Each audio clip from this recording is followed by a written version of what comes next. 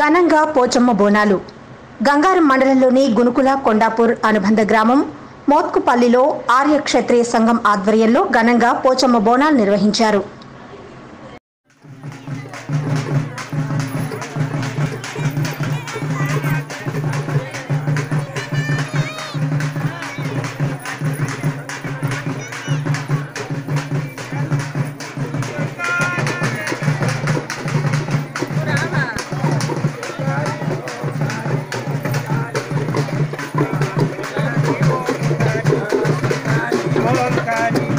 Hare